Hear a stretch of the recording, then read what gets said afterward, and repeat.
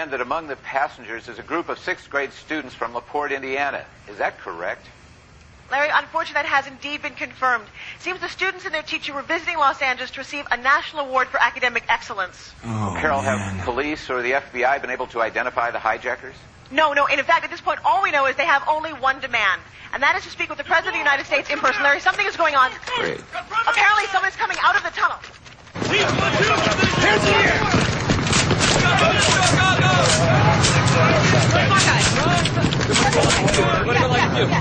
My name is Donald Roper. I work for the Los Angeles County Tourist Bureau. I'm to read a statement from our captors. Here it is. We want America to know we are not terrorists, but patriots. Each of us are veterans who served in the Gulf War and are now gravely ill with Gulf War syndrome. Our demands are simple that the President come here personally and make a statement recognizing that Gulf War syndrome does exist. We also demand that we be given $300 million in cash as reparation to be distributed to our brothers, sisters, and their families whose lives have been destroyed by this horrible affliction. If the demands are not met,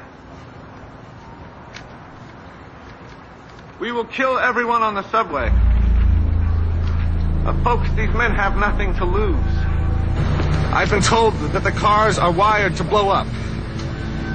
Please, for the sake of everyone down there, for the sake of the children, Mr. President, if you could at least come and talk with these people.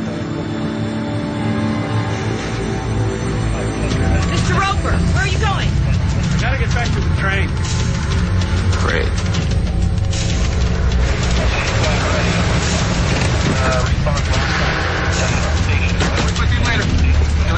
Guys. Want to go straight down there. Send two guys outside later. That way, you guys go you can see behind me the black clad SWAT is indeed moving down into the tunnel. Larry, we're hearing gunfire from down below.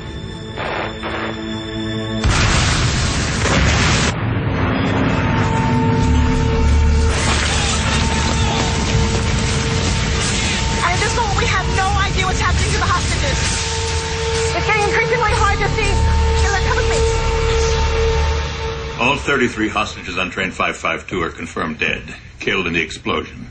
But they also found sarin gas, the same poison Gulf War vets claim they were exposed to during their incursion into Iraq. Soviet soldiers often claim the government endangered their lives too. We're not talking about the Red Army here, sister. And we're not here to debate military history, Nate. I've been informed there was an important diplomat on train 552. Does that mean we're on alert? Condition one. Well, that's great. Let's saddle up right now. Donovan and I will have a little surprise waiting for those patriots before they even get near those kids. Uh, diplomat, train, whatever. Let's move. Let's go. His name is Mathieu Hummel. He was vacationing in Los Angeles before his trip to the UN Peace Conference in South Korea. Almost. Should I know this name? He's the front runner to be the next UN Secretary General, Frank. He's also an ally, a longtime supporter of U.S. foreign policy. Now, it hasn't been absolutely confirmed that Hummel was on that train. The burned bodies are still being identified. But the NSA doesn't want us to risk a longer wait. Here's the latest intel from the FBI on the LA fleet. This one's going to be a pleasure, sir. Remember, your first duty is to save Hummel, then the kids. You got it.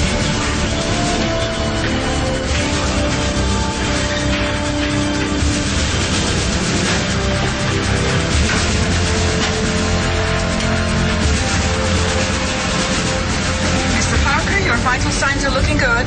Never better, Miss Vukavitch. Never better. Reactor at 80%. Good luck, Mr. Parker. I know your mission is to save the kids. Reactor at 100%. Stop! Do not engage, Frank. Do not engage. That's an order. Backstep aborted. We have an abort. What's going on? Let's go. They just found Matthew Hummel in a hideaway off the California coast with his mistress, drunk as a skunk, but very much alive. Talk to me, someone. Olga Talmadge, what the hell is this? The backstep has been canceled, Frank. What? What the hell are you talking about?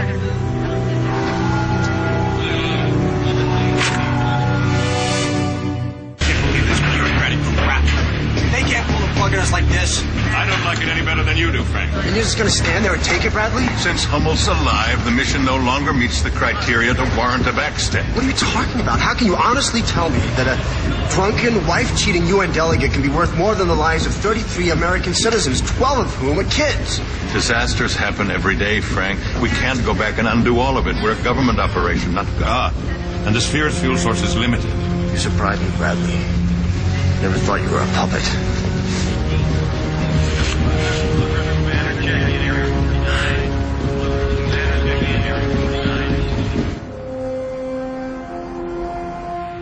Trip meant so much to her.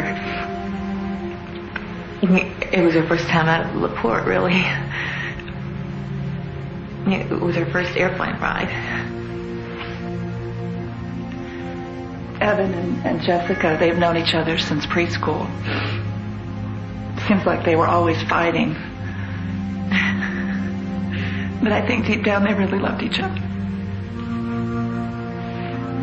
And so, once again, an act of domestic terrorism has shredded the fabric of people's lives in Middle America as the mothers of the dead children try to make some sense out of this terrible tragedy. All they can do is ask each other why. Unfortunately, no one has been able to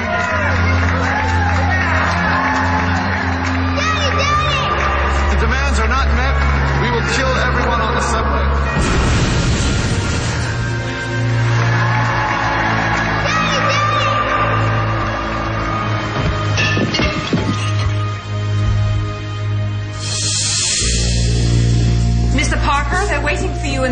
For testing. Mr. Parker? Where are you going? Out.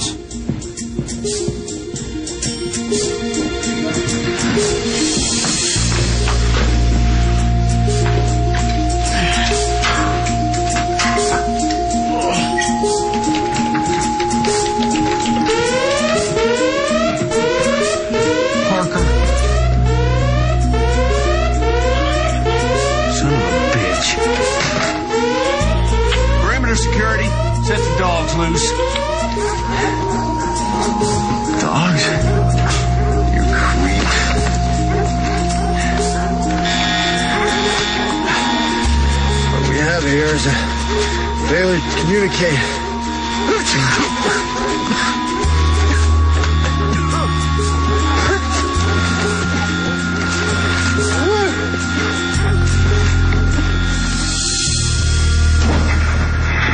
All right. He screwed up six highly trained government animals and got away, and he left this note pinned to his flight suit.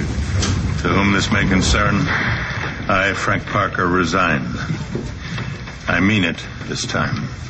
No, it's fine with me. Man has no emotional control whatsoever.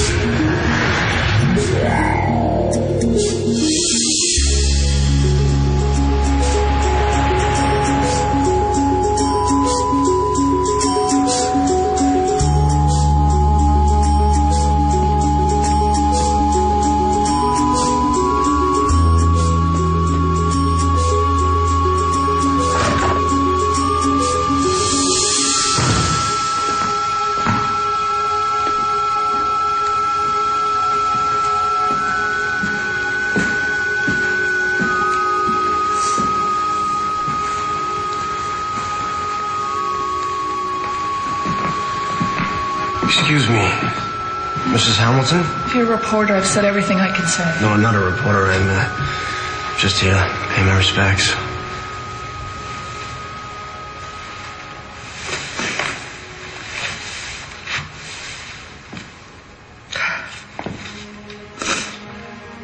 A couple of years ago, Evan discovered an old telescope up in our attic. One night we couldn't find him, and then there he was, just seven years old, standing on our roof looking at the stars through that old telescope. You liked astronomy? Yeah. He always said he wanted to visit the stars someday. He wanted to be an astronaut. I suppose now he is visiting the stars. In a way.